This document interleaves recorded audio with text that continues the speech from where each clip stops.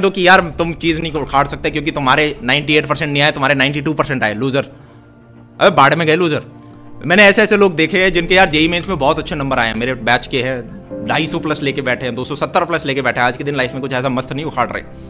मैंने ऐसे लोग देखे जिनका यार कहीं पर एडमिशन नहीं हुआ है ना T triple I Ts I I T BITS Pilani और आज के दिन ऐसे हैं, पच्चीस छब्बीस साल के और चालीस पचास लाख पर मंथ छापते हैं। अपना काम कर रहे हैं वो।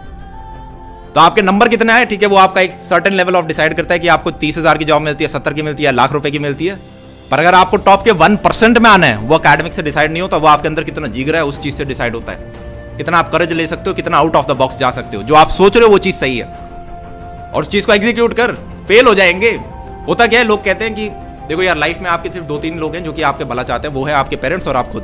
काम खत्म। इसके अलावा आपके जितने भी पड़ोसी हैं जो सोचते हैं कि यार, आप लाइफ में क्या फ़र्क नहीं पड़ता उन्हें, बिल्कुल भी।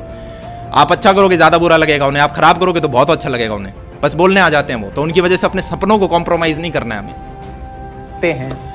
गलतियाँ करनी है तो जल्दी उम्र में करो, जिससे कि बची हुई ज़िंदगी में वो सीख लगा सकें। बी पॉजिटिव एनर्जी इतनी ज़्यादा हो कि जनाब तुम्हारा दुश्मन देख के बोले, जनाब, बनना है तो इस जैसा बनना है। और जनाब, वैसा बनने के लिए, वैसा बनने के लिए ना, थोड़े त्याग करने पड़ते हैं, थोड़ा सैक्रिफाइस करना पड़ता है।